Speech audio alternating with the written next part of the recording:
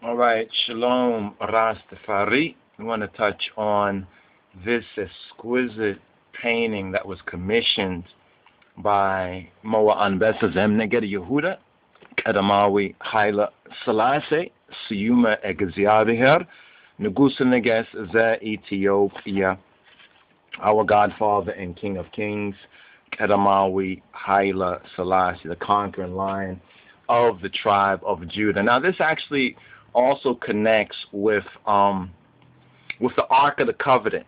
In other words, we can look at it in in um, two ways: in the Old Covenant, and we can look at it in the New Covenant. Really, we have been looking at it mainly in the Old Covenant, making brief uh, allusion or um, um, analogous uh, comparisons, but not really getting into the, the the root of it. It's now time for I and I to go from low degrees to higher degrees in our consciousness and spiritual overstanding. I want to touch on this particular artwork again because I love art, right? And I love good art. And I love art, Ethiopian nist art, right? Uh, our divine heritage art, and um, looking at all the different um, imaginations of what, um, and even whitewashing of our black mother of Kadistin Gilmaria, and finding this particular painting that was commissioned by the King of Kings and then studying it. Because if you're going to commission our Father, our Holy Father, Abba Kadus, Kadus, Kadus, if His Majesty commissions a, a work of art, then it's very important who He has commissioned, who, who, who received that commission. And if I'm correct, I think that this particular art is Afewerk, Afewerk uh, Tekle it seems like his style like you can notice one style like you may in in, in the in the in the uh, Italian Renaissance and and, and, and, and the and the papacy, you have to recognize this is a medium of communication. And when you go to museums, this is also on I and I to-do list, but we need the assistance and cooperation of our co-laborers, our brothers and sisters, um, and and other branches and churches and and I encourage you highly my brothers and sisters and I know many still are desirous to have reasonings and we're seeking to build up the networks use these uh, technologies towards that endeavor. But before going off into that let's just touch on this particular subject matter right here concerning our sacred artwork because this is our cultural heritage it's, it's, it's the legacy. It's the legacy of holy Ethiopia. This, this art right here is is is purely indicative. Uh, it's an indication of exactly that. Let's let, let us zoom in for a moment in this particular artwork and, and really get it a little bit larger and start to study some of the features. Well, for, for right now, let's go right here. Okay, so this is Kadis Dingel Mariam.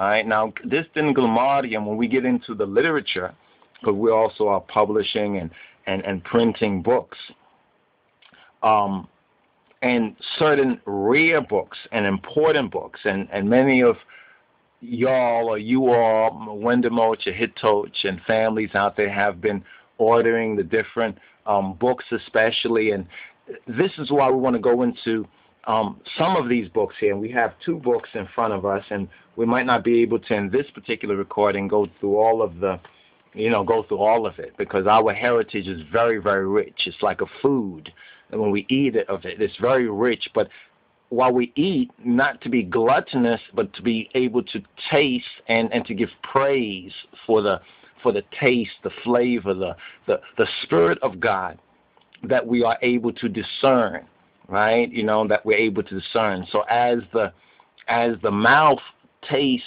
of food and the quality of the taste, as the ear uh, weighs and also tastes words, our eyes, if we make our eyes single as the Moshiach, as Yeshua, as our black Lord and Savior Jesus Christos in the Wengel and in the Gospels has testified and instructed us to. What a wonderful new world, the true world, right, of the King of Kings and his Christ that we are able to perceive. So this is on Haile Selassie's Black Madonna, right? And the Ethiopian, when we speak of the Ethiopian Renaissance, what is a Renaissance? Right? See, a Renaissance art is so very important. Art and culture, art and fact. So this is art, but what is the facts about it? Not just the creation of it, but what idea are we to receive as we mature and as we grow in spiritual overstanding? All right? So I have the Queen of Sheba and only son Menyelek. I want to go to some of these texts right here, and this might be uh, another teaching series on on the the the implications. Would that be a correct word, or the um, understanding, overstanding? See the see this in Grammarium.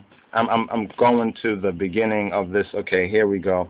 It's uh, the Kebra Nagast, the glory of the kings, and it's the preferred um, um, Sir E.A. Wallis Budge, Star of Ethiopia, third class um, version right here. And it speaks right here. Let's go, let's go to chapter 1. In praising God the Father, the, the sustainer, the glory of kings in praising God the Father, the sustainer of the universe, and praising Jah the Father, the sustainer of the universe, and his Son Jesus Christos, Jesus Christ, through whom everything came into being, and without whom nothing came into being, and the Holy, the Isla Triune Spirit, the Triune Irit, the Paraclete, the Parakletos, who goeth forth from the Father and deriveth from the Son. We admit or believe it has a nominal amen in and adore the Trinity, Selassie, one God, Ahadu Amlak, the Father, Ab, and the Son, Weld, and the Holy Spirit, Menfesa Kedus chapter 1 concerning the glory of kings. Now, now, now, note this, please, my brothers and sisters, that this particular art that you, those who are seeing the video and the and the, the video version of this, because some might hear the audio version of it, right? But those who are seeing the video version of it, this particular art was commissioned by the King of Kings, and and this tells us a whole lot you know, this is why they have museums. This is why there's art appreciation as one study art. And although I can I can give this understanding, overstanding, turgum, interpretation. Others can give other interpretations of this very same art and still it be right and exact. It's like there are how many degrees in a circle? 360. But what we're touching on here is the core, is the core ingredient of our divine heritage right? Remember, um, Sizzla Kalonji has the album, and it's called right here. Here we go. Let's bring this in: Black Woman and Child. We originally wanted to uh, we originally wanted to touch on this how, how there's a link here between um, Black Woman and Child, right? Between the Ark of the Covenant, right? And between the Ethiopian or the black woman. All right, so let's let's touch on this, the black woman. But what is that link? You see, a lot of our brothers and sisters, because of a lack of uh, the, the the right knowledge, have you know searched everywhere and might get caught up in some of the the so-called new age philosophy, you know, where, we, where we're forever learning, learning everything instead of going to our true root, right? Where we're promoting every other kind of art right? Instead of our true art, right? Our true art. Well, let's let's continue right here before we go off and um and, and preach on that particular matter. Though I know some will be willing to hear I and I preach. First, let's deal with the teaching of His Majesty. So this is chapter one of the Kebra Nagast concerning the glory of kings.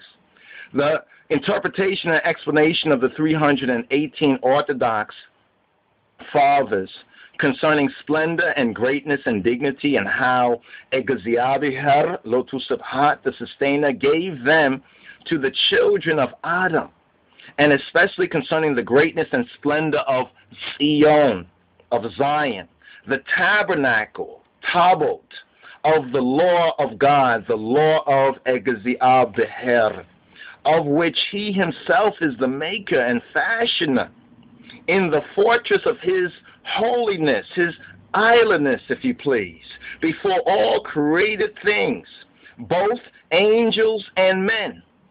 For the Father and the Son and the Holy Spirit with good fellowship and right goodwill and cordial agreement together made the heavenly Sion, Samayawi Sion, to be the place of habitation of their glory, the place of habitation of their kubr.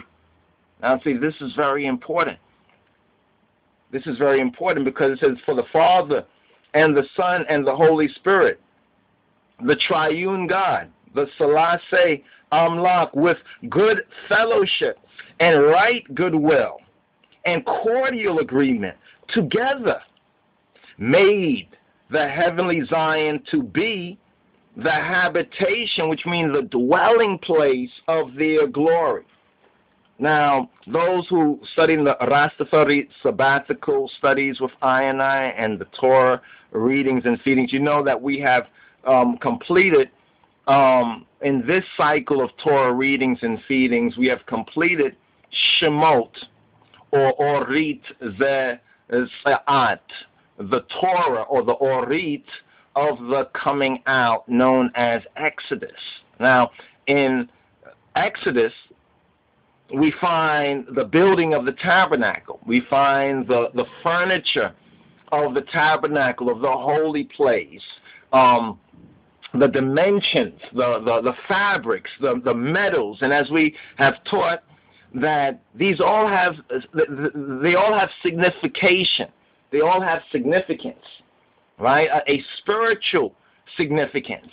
And although some would look at the, the outer level, it's time for I and I to look at the, the inner level, to get into the inner sense, right? So we can be insiders in the will of the King of Kings and his Christ, right? So we can fulfill his will so that we overcome, so that that which is written of the Kedusan is and becometh our inheritance, our divine heritage. See, in the Ethiopian World Federation, the preamble and the Constitution, this is what it's, this is what it's talking about when speaking about our divine heritage. Because as we learn and as we grow, right, as we meditate on these things, our wrong thinking, our worldly thinking, before we were called, before we answered the call of His Majesty in Christ, the call of Arastafari, our, our, our brain begins to rewire itself, right? But that, that can only happen through a discipline, a discipleship. That means consistency. One who seeketh mastery, the scripture says, is, is, is temperate in, in all things, my brothers and sisters. So, in moving forward, and then the Father and the Son and the Holy Spirit said, Let us make I and I make man in our similitude and likeness. Let us make man in our similitude and likeness, and with ready agreement and goodwill, they were all of this opinion. All right, so this is explaining actually the first Uh, the first book of Musa, which is known as Bereshit or Orit Ze Fitret, the Torah of the creation.